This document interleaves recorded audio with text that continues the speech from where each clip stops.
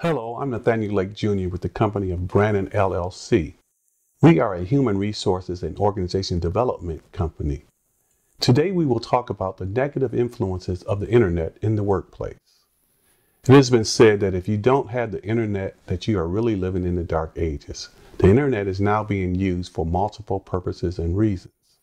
In the workplace, however, even though it can add productivity, there are a lot of negatives that could occur if you're not careful. Number one, there could be time wasted by employees doing non-work related functions. Number two, there could be discrepancies in how privileges are handed out from one work unit to the other, where some employers or bosses will allow employees to use the internet for a variety of things, where other bosses or employers or managers will not. There are also people going to the internet in approaching in, inappropriate sites. This could be very costly and damaging to an employer because it could infect their whole computer system.